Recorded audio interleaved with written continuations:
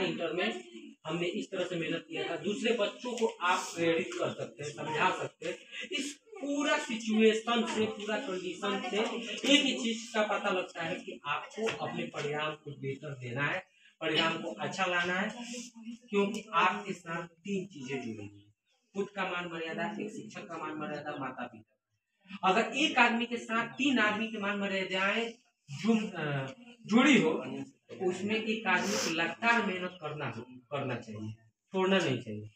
उसके लिए जो भी कुछ करना हो, पूरा एकदम छल कल बल, जो भी लगाना हो, हम लगाते हैं और हाथ में। दूसरा चीज़